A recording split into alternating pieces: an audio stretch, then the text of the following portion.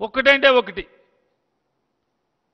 అద్భుతమైనటువంటి రెండు వేల పద్నాలుగు నుంచి పంతొమ్మిది దాకా నేను చంద్రబాబు కలిసి అద్భుతమైనటువంటి పథకాలు లేదా నేను చంద్రబాబు కలిసి చేసినటువంటి మొదటి ఐదు సంతకాలు అద్భుతంగా అమలు చేశాం భారతదేశంలో ఎక్కడా లేని విధంగా. చెప్పుకునే సత్తా మీ ఇద్దరికి ఉందా? రెండు వేల పద్నాలుగులో చంద్రబాబు నాయుడు కోటేయండి నేను ప్రశ్నిస్తాను. రెండు వేల పంతొమ్మిదిలో ప్రభుత్వ వ్యతిరేక ఓటు చీలిపోవాలి. రెండు వేల పద్నాలుగులో ఎన్నికల్లో కాపుల్ని బీసీలుగా చేస్తామని చెప్పని మోసం చేసిన దరిమిలా ముద్రగడ పద్మనాభం గారి యొక్క ఉద్యమం ఫలితంగా కాపులందరూ కూడా చంద్రబాబు నాయుడు మీద కోపంతో జగన్మోహన్ రెడ్డి గారికి మొత్తం గంపగుత్తగా ఎక్కడ ఓటేస్తారో అని భయంతో నువ్వు చంద్రబాబు కలిసి మళ్ళీ ఇద్దరు లాలూచి కుస్తీ. డబ్ల్యూడబ్ల్యూఎఫ్ అంటారు కదా టీవీలో చూపిస్తారు. దమా దమా గుద్దుకుంటుంటారు ఎవరికి దెబ్బలు తగలవు. ఈ డబ్ల్యూడబ్ల్యూఎఫ్ కుస్తీ పట్టి మీ ఇద్దరు మళ్ళీ భారతీయ జనతా పార్టీ ప్రభుత్వం వచ్చేసి చంద్రబాబుని ఎక్కడ ఈ అవినీతి కేసులో లోపలేస్తాం అని మళ్ళీ బీజేపీ దగ్గరికి పరిగెత్తింది. ఇవన్నీ చంద్రబాబు కోసం కాదా? ఇవాళ మళ్ళీ భారతీయ జనతా పార్టీని అట్టేట ముంచి చంద్రబాబుతో ఒప్పందం పొత్తు ఒప్పందం జైల్లోకి వెళ్ళి చేసుకొచ్చింది బయటికి చెప్పింది. ఇదంతా దేనికోసం ఇవన్నీ చూస్తే ఈ డ్రామాలు చూస్తే ఏమంటారు? ఏమంటారు? ఎవడన్నా మావాడు ఎవడన్నా ప్యాకేజీ అంటే అరే ప్యాకేజీ అంటారా? సన్నాసుల్లారా? ఏమండి నేను తిట్టలేదండి. సన్నాసులు అంటే ఏమీ లేని వాళ్ళు అని చెప్పి అది పవన్ కళ్యాణ్ సన్నాసి అన్నారు సన్నాసి. నేను కూడా తిట్టలేదండి. అసలు పా వైఎస్ఆర్ కాంగ్రెస్ పార్టీ కంటే వాడి కంటే కూడా అసలు ఇంకా ఏమీ లేనివాడు. మేము ఒక రక ఒక ఒక వంతు లేని వాళ్ళమైతే ఈయన ఒకటిన్నర వంతు లేనివాడు. ఏమీ లేనివాడు పవన్ కళ్యాణ్. తిట్టు కాదు అది. ఆయనే చెప్పాడు. పవన్ కళ్యాణ్ డిక్షనరీ అది. తిట్టు కాదు.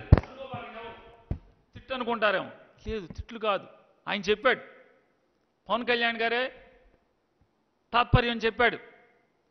సన్నాసి అంటే తిట్టు కాదు ఏమీ లేనివాడు అంటే. సన్నాసిన్నర సన్నాసి అంటే సన్నాసికి ఏమీ లేకపోతే సన్నాసిన్నర సరికి సన్నాసికి ఇంకా ఏమీ లేదు సప్పగా ఏమీ లేదు.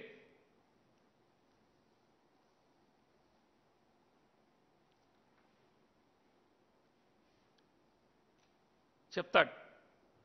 కైకులూరులో గుక్కెడు నీళ్ళు తొరటానికి ఇబ్బందిగా ఉంది అని చెప్పాను. కొల్లేరులో గుక్కిడి నీళ్ళు ఇవ్వడానికి ఇబ్బందిగా ఉందని. పవన్ కళ్యాణ్ చంద్రబాబు ప్రభుత్వం ఉన్నప్పుడు అసలు మొత్తం మామూలుగా నీళ్ళల్లో డొల్లాడే వాళ్ళందరూ అక్కడ కొల్లేరు జనం అందరూ. రెండు వేల పద్నాలుగు నుంచి పంతొమ్మిది దాకా పవన్ కళ్యాణ్ చంద్రబాబు ప్రభుత్వం ఉన్నప్పుడు మొత్తం కొల్లేరులో అంతా కూడా మంచిళ్ళలో డొల్లాడారు ఏంటి వాళ్ళందరూ? కొత్తగా జగన్మోహన్ రెడ్డి గారి ప్రభుత్వం వచ్చి దూల నాయకసరావు వచ్చి మొత్తం ఆ నీళ్ళన్నీ కూడా మామూలు తీసుకెళ్ళి ఆవిరి చేశారా? పొయ్యి పెట్టి. తప్పుడు మాటలు ఎంతసేపు? అసత్య ఆరోపణలు. జగన్మోహన్ రెడ్డి గారి నోటుకొచ్చినట్టు నిందలు అసత్యాలు. మరి ఏమంటారు పవన్ కళ్యాణ్ని? ఇన్ని డ్రామాలు చంద్రబాబు కోసం ఈ రకంగా ఇన్ని తంతులు ఇన్ని డ్రామాలు ఇన్ని సర్కస్లు చేస్తుంటే ఏమంటారు? వైఎస్ఆర్ కాంగ్రెస్ పార్టీది కుటుంబ పాలన. ప్రజారాజ్యానికి చిరంజీవి గారు అధ్యక్షుడు ఇతర యువరాజ్యం ఈయన అధ్యక్షుడు జనరల్ సెక్రటరీ గారు అల్లు అరవింద్. అదేమో అసలు ప్రజల party. Janasena party. Janasena party అధ్యక్షుడేమో Pawan Kalyan వాళ్ళ అన్నయ్య ఏమో జనరల్ సెక్రటరీ డయాస్ మీద వాళ్ళిద్దరు ఉంటారు. ఇంకెవడో ఉండడు. ఇది మాత్రం ప్రజల పార్టీ. వైఎస్ఆర్ కాంగ్రెస్ పార్టీ కుటుంబ పార్టీ. మాట్లాడే భాషకి అర్థం పరమార్థం సిగ్గు శరం. ఇందుకే కదా రాజకీయ నాయకులు పలసనైపోయేది చంద్రబాబు మీలాంటి వాళ్ళని చూసే కదా. చెప్తాడు మోడీ గారంటే కేంద్ర ప్రభుత్వం ఫోన్ నెంబర్ ఉంది. కేంద్ర ప్రభుత్వం ఫోన్ నెంబర్ అని మీ దగ్గర ఉందేమో. నా దగ్గర పుతిన్ది ఉంది బైడెన్ది ఉంది అందరూ ఉన్నాయి కిమ్ది ఉంది అందరూ ఉన్నాయి. ఫోన్ నెంబర్లు ఏం కావాలి? యునెస్కో ఫోన్ నెంబర్ కూడా నా యునైటెడ్ నేషన్స్ ఆఫ్ ఇండియా ఇది కూడా ఉంది నా దగ్గర. యునైటెడ్ నేషన్స్ ఆర్గనైజేషన్ కూడా నా దగ్గర ఫోన్ నెంబర్లు ఉన్నాయి. ఫోన్ నెంబర్లు కావాలంటే గూగుల్లో కొడితే మోడీ గారి ఫోన్ నెంబర్ వస్తుంది. మోడీ గారి ఆఫీస్ ఫోన్ నెంబర్ ఉందంటే ఫోన్ నెంబర్ ఉంటే ఏంటి? మాట్లాడే సత్తా కావాలి కదా. ఫోన్ ఎత్తి మోడీజీ పవన్ బాత్ కర్రే అని మాట్లాడే దమ్ము కావాలి కదా కలేజే కావాలి కదా. అదేది? అది లేనప్పుడు మన పుస్తకాల్లో కాగితాల్లో ఎవడి ఫోన్ నెంబర్లు ఉంటే ఎన్ని ఫోన్ నెంబర్లు ఉంటే ఏముంటుంది? నా దగ్గర బైడెన్ ఫోన్ నెంబర్ ఉంటుంది ఏం చేస్తాను? కిమ్ ఫోన్ నెంబర్ ఉంటుంది నా దగ్గర నేనేం చేస్తాను? పుతిన్ ఫోన్ నెంబర్ ఉంది నేనేం చేయను? కలేజా కావాలి ఫోన్ ఎత్తి మాట్లాడే కలేజా ఉంటే అప్పుడు నువ్వు చెప్పాలి మోడీ ఫోన్ నెంబర్ ఉంది నా దగ్గర అని. ఫోన్ నెంబర్ ఉంటే ఏంటి? మన కర్మకి మోడీకి ఓటేయమని చెప్పి తిరిగావు రెండు వేల పద్నాలుగులో ఎనిమిదేళ్ళు నాకు అపాయింట్మెంట్ లేదు ఇంటర్వ్యూ లేదని మనమే చెప్పుకేడిచాం మోడీది. ఎనిమిదేళ్ళ పాటు మోడీ గారిది అపాయింట్మెంటు పిలుపు లేదు నాకని చెప్పని. ఇవాళ మనం సొల్లు కబుర్లు చెప్తున్నాం పవన్ కళ్యాణ్ గారు. ఏమిటిదంతా? అమెరికాట్లో ఒకటి చెప్తున్నాడు. గొంతు తా గొంతెండు అంటే గొంతు తడుపుకుంటాకి గుక్కడి నీళ్ళు తాగటా గ్లాసు కావాలి ప్రయా ఒక చోటు నుంచి ఒక చోటు ఒక ఊరు నుంచి ఒక ఊరు వెళ్ళాలంటే సైకిల్ కావాలంట. సైకిల్ సంగతి పక్కనెట్టు. ఆంధ్రప్రదేశ్లో గ్లాసు గుర్తు ఉందా నీకు? ఆంధ్రప్రదేశ్లో గ్లాసు గుర్తు మనకు ఉందా ఉందా? గ్లాసే లేదు కదా ఇంక ఇంకేం తాగేది? అంటే ఎన్ని సొల్లు మాటలు నేను చెప్పానంటే సొల్లు మాటలు మాట్లాడద్దు. తప్పు కదా. ప్రజల్ని ఈ రకంగా మోసం చేయొచ్చా? తప్పు కదా? ధర్మమేనా ఇది? ఈ రకంగా చేయటం? ఇంకా అని చెప్తాడు భారతీయ జనతా పార్టీ అంట మోడీ గారు అమిత్ షా గారు నడ్డా గారు వీళ్ళందరూ కూడా జీ ట్వంటీలో మునిగిపోయారంట. ఈయన దగ్గర ఫోన్ నెంబర్ ఉంది కదా ఫోన్ చేసినా కూడా వాళ్ళు అసలు ఎత్తట్లేదంట. ఏంటంటే జీ ట్వంటీ జీ ట్వంటీ అంటున్నారంట.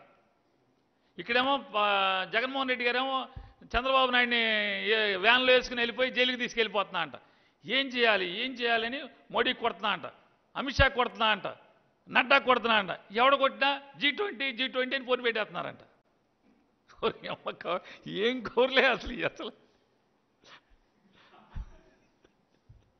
అప్పుడు ఏమీ చేయలేక గబగబా పరిగెత్తుకుని రాజమండ్రి వెళ్ళిపోయాడంట. వెళ్ళిపోయి మోడీ గారితో తర్వాత చెప్పుకుందాంలే ముందు పొత్తు ప్రకటించేద్దాం అని చెప్పి ప్రకటించేశాడంట. ఇది నేను చెప్పాలి ఆయనే చెప్పాడు. ఓరి ఈ- ఈ కబుర్లు. కరెక్ట్గా మా చిన్నప్పుడు ఇప్పుడు ఎవడు రావట్లేదు కానీ మా చిన్నప్పుడు దసరాలో వచ్చేవాళ్ళు. దొరలో. నేను అనలేదబ్బా మీరు మీరు పెట్టల దొర నేనంటే దొర అని చెప్పాను. దసరాకు వచ్చేవాళ్ళు దొరలు. ఈ కబుర్లు తప్పితే ఓ పక్కేమో మోడీ అంటే గజగజ అమిత్ షా అంటే గజగజ మళ్ళీ ఇక్కడేమో యాషాలు. ఇక్కడ సొల్లు కబుర్లు. ఎవడు నువ్వు దమ్ముగా చెప్పు. ఏ నాకు మోడీ బీజేపీ జాంతరే ఏ వాళ్ళంటే కేరే జాట్. నాకు చంద్రబాబే నాకు కావాలి. చెప్పుకో. అరే నిజంగా మేము కూడా మావాడు పులిరా మావాడు కాపు బిడ్డ పులిరా అదిరిపాటుగా మాట్లాడాడు.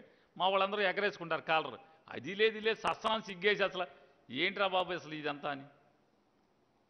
ఈ కొట్టుడేంటి?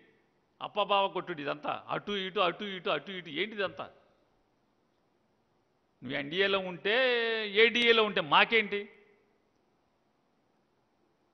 నువ్వు చంద్రబాబుకు తొత్తుగా ఉంటున్నావు. అదంటే కස්සని కోపం. ఎందుకు? ఎవడికి కోపం? ఎందుకు? ఉన్నావా లేవా? చంద్రబాబు కోసమే పనిచేస్తున్నావా లేవా? నీ బీఫారాలు ఎవరిచ్చారు? రెండు వేల పంతొమ్మిదిలో? ఇవన్నీ మానేసి ఇప్పుడు కొత్తగా ఏంటంటే పాపం బాధల్లో ఉన్నాడు. చంద్రబాబు కాదు బాధల్లో ఉన్నది. ఈయనే బాధల్లో ఉన్నాడు. పాపం జెండా మోసే జనసేన కార్యకర్తలు కూడా ఈయన మాట వింటలా. అందుకని చెప్తున్నాడు. నలభై ఏళ్ళ అనుభవం. కానీ సరుకు లేదు. అనుభవం మాత్రమే ఉంది తెలుగుదేశానికి. సరుకు మన దగ్గర ఉంది. కాబట్టి రెండు కలవాలి. చంద్రబాబు దగ్గర సరుకు లేదంట. శక్తి లేదంట. ఓన్లీ అనుభవం ఉందంట. ఆ అనుభవం మన శక్తి. రెండు కలవ